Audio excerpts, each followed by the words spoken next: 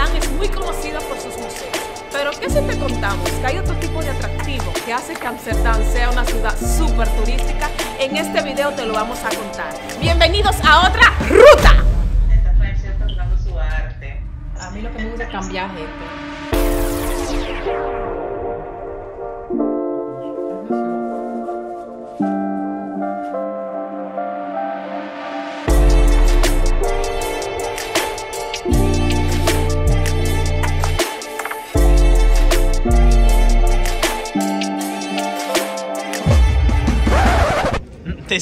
Dit is.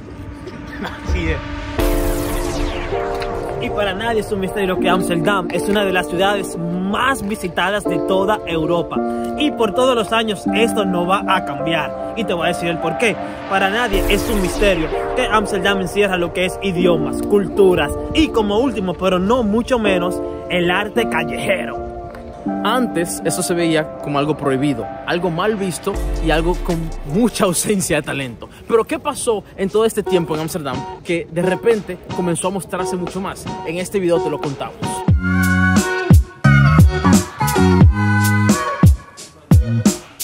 Para profundizar un poco más en el mundo del arte callejero, hemos invitado a algunas personas que saben mucho, pero mucho más de este tema. ¿Qué es el graffiti?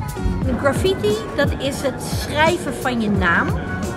Wij noemen dat ook wel stylewriting. Dat is echt een vorm van communicatie via stijl en kleur. Want daar kijken wij heel erg naar eh, bij elkaars werk. Van hoe vorm je je letters? Hoeveel ervaring heb je? Hoe, welke techniek gebruik je? Hoe fijn kan je werken? Of juist hoe vet kan je werken? es una expresión, es un- una forma de ver el mundo, es una forma de querer romper la monotonía y querer expresarte, querer poner colores donde no los hay o un mensaje. Las aventuras, eh, coger el coche, irte de Madrid a Burgos a pintar porque no sé qué, volverte, eso es el graffiti, eso es el pintarlo bien, echarle horas, estar en tu casa, querer ser mejor, querer ser mejor que tus colegas, la competición, igual que el hip hop, es todo eso, es competición pura, pero es competición sana, es competición de a ver quién es el mejor pegándose, no, a ver quién es el mejor haciendo arte. Yo he estado muchas veces en el metro o en el tren y veo, ¡eh! Aquí ha estado mi amigo, ¿sabes? Aquí, porque ha puesto su, su tag o su, su firma, sí. Y bueno, eso, eso, eso son cosas de. Entre los grafiteros es, un- es una cultura de que, de que, ah, ahí ha estado tal, ahí ha estado él, ahí ha estado ella, ahí ha estado, ¿sabes? Het is echt een taal for us, by us. ¿Cuál es la diferencia entre el arte callejero y el graffiti? Eh, ja, het is moeilijk. Er is wel een soort van overlap, denk ik. Ik denk dat we nooit eh, de street art scene, zoals die nu eigenlijk wel een wereldwijd fenomeen eh, is geworden, zouden hebben als er geen eh, graffiti geschiedenis was. Nou, graffiti is natuurlijk begonnen als een ongevraagde vorm van kunst. Dat is een vorm van kunst die niet iedereen kan lezen en dus ook niet iedereen kan begrijpen. Son estas letras que vemos en la calle, vienen un poco por eso, por el ego, por alguien que quiere romper con, con poner su nombre. Je kiest een alias, die probeer je eigenlijk zo groot mogelijk te maken. Er zijn verschillende routes om jouw naam groot te maken natuurlijk. Eh, het gaat veel meer ook om een soort van anoniem spel. Dus de persoon achter de naam blijft vaak eh, verborgen. Street art daarentegen, dat zijn wat ik al zei, mooie plaatjes. Son plantillas, son pósters, son pintadas de políticas, colores, mm, formas que, que se puede ver, se puede distinguir.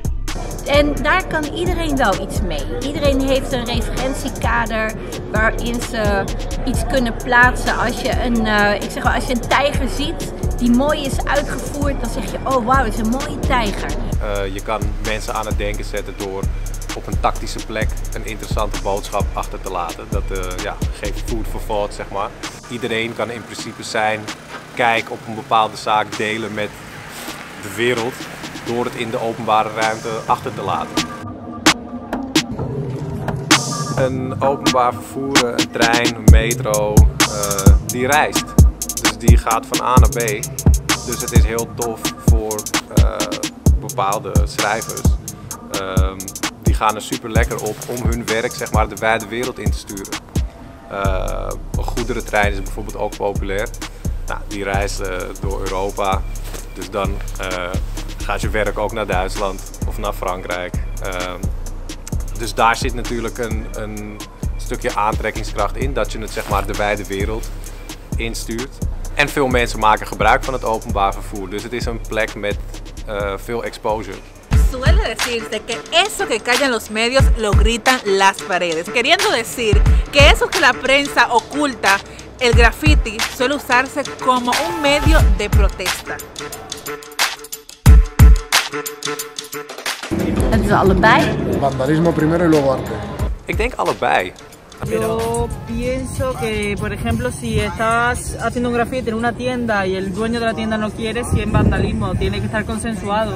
Eh, si es un negocio privado, si es un mural como aquí, que es todo una zona industrial que lo veo arte, entonces depende. Y depende de que sea una firma que sea horrible o que te lo ocurre sí que sea pues un dibujo pues como este, que es obviamente arte.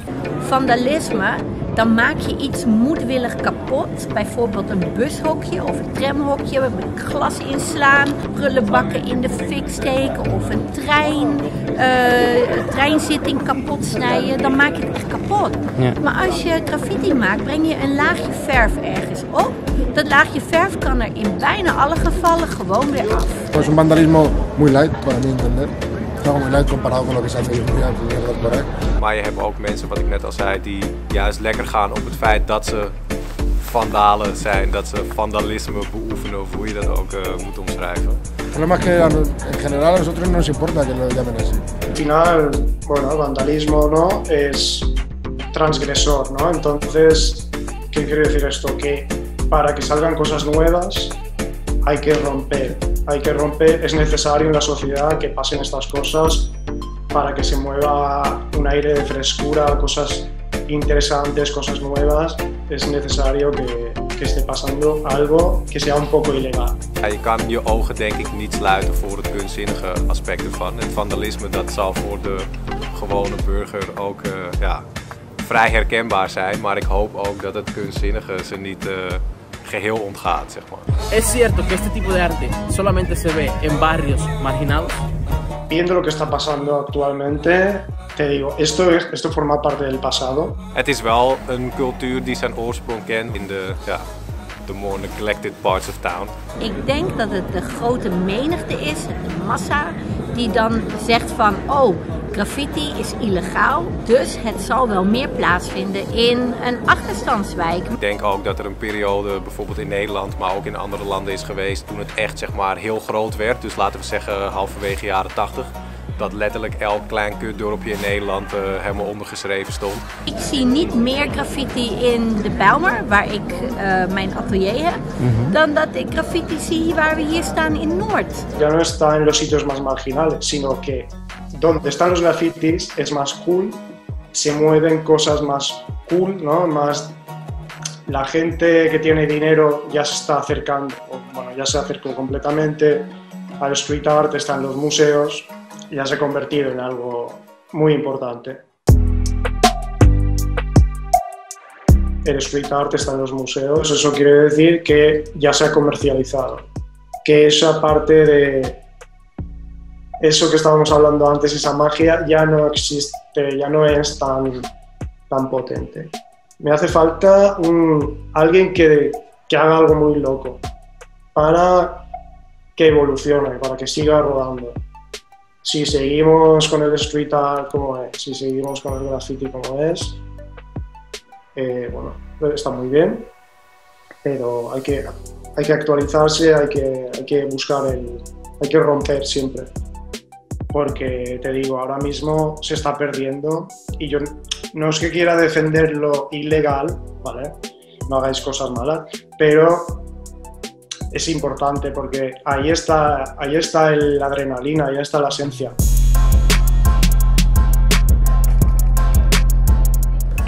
Wel ziet is dat net als in andere landen street art wordt gebruikt om een, stad te promoten. Dus eh, street art looproutes, wandelroutes, toeristenroutes, eh, grote street art festivals. eh, waar heel veel mensen op afkomen, waar de bekendste street artists van de wereld in worden gevlogen om reusachtige muren te maken. Ja, dat is wel echt van deze tijd. Nos encontramos aquí con un grupo de españoles, señores, y una brasilera. Y vamos a hacerle la pregunta de qué le parece o qué piensa acerca del graffiti. Bueno, yo solía hacer graffiti hace tiempo.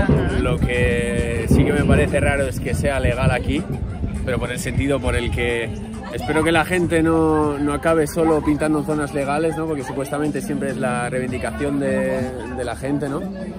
Pero como forma de practicar el arte en una zona así ilegal, la verdad, me hubiera gustado tener esto donde, de donde yo soy, porque el de tener que pintar bajo en, en autopistas o en túneles de tal, a poder hacerlo aquí, la verdad es que está muy guapo. Ik ben verbonden aan Alternative Amsterdam. Lijkt het je leuk om een keertje een street art tour in Amsterdam eh, te doen? Met mij eh, lekker te sparren over de geschiedenis van graffiti en street art. Eh, check dan onze website www.alternative-amsterdam.com en eh, kom een keer mee zou ik zeggen. Para mi gente, paz y amor. que Dios te bendiga.